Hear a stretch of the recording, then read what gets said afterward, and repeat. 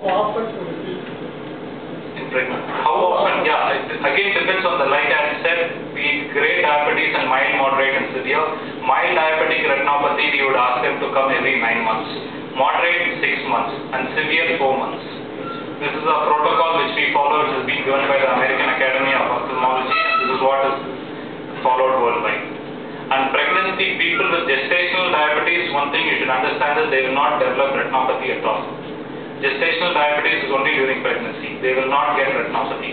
However, a diabetic patient who develops, uh, who, who becomes pregnant, you should definitely warn them that the diabetic retinopathy, it's pre-existing before pregnancy, will definitely progress during pregnancy. So we have even have instances where there was an immediate termination of pregnancy because they were growing blind as the pregnancy progressed. Frequently those patients should have a parasitism during the course of pregnancy?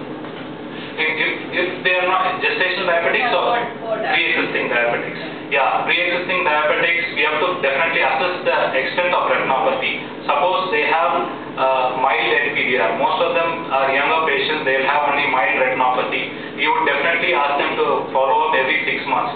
We would not think of early termination of pregnancy. However, in proliferative diabetic retinopathy, we definitely want them for pregnancy because uh, only treatment then in proliferative retinopathy would be laser. That's the safest treatment. We can't think of any other treatment modalities like uh, surgery or intravitreal injections. So if they have proliferative retinopathy and they want to go for, uh, they're planning pregnancy, then we do a prophylactic laser so that they don't, it doesn't progress. But in pregnancy, you are contraindicating fluorescein angiography. Fluorescent, yeah, yeah. Pregnant patients, no. We don't do fluorescent Then angiogram. how do you assess the magnitude of the retinopathy? Yeah, uh, magnetic, clinically we'll be able to pick up the new blood vessels and uh, experienced vitreoretinal surgeon should be able to pick up even these new blood vessels.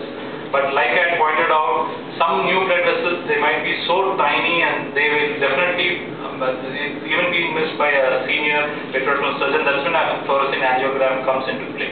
However, if it is evident clinically, then definitely yes, we go for a prophylactic laser treatment.